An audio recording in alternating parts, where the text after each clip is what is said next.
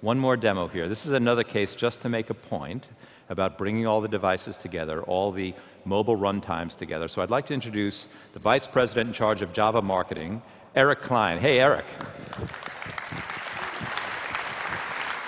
The new guy. Right. This is my first JavaOne. So. First, no, it's 10,000 of your closest friends. Don't exactly. All right. So what do we have here, Eric? So uh, previously we showed you uh, Connected Life running on an FX mobile device. So this mm -hmm. is a Java FX application. Uh, what we want to do is show you something a little bit interesting. And by the way, this, uh, this device is, uh, this MacBook is pink because what you don't know is the demo god is actually a woman.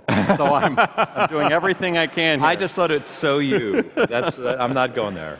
So what I'm actually going to do is I'm going to show you an interesting demonstration created by a member of the Java community. And uh, oh my gosh, what you might be noticing here is uh, Android.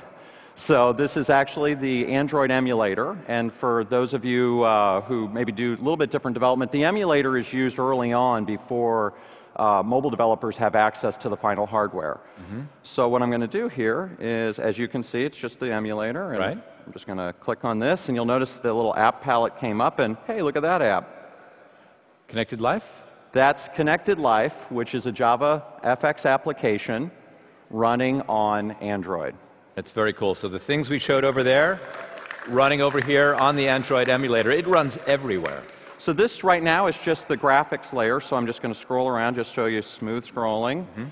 And uh, literally just a real quick demonstration. I can close it back up, but that's just showing you FX running across multiple mobile platforms, showing you the scalability of Java FX. Very cool. Thanks, Eric. Thanks. So the point is, you know, you pick a platform. Eric,